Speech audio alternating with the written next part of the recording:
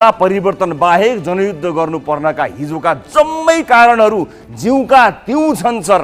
व्यवस्था फेरिनुलाई चान्चुने उपलब्धि मानेको होइन तर तपाईँले बोलेर र लेखेरै जनताको अवस्था पनि फेर्छु फेर्छु भन्नुभएको हो। भन्नुभएको हो नि। होइन। गलत हो।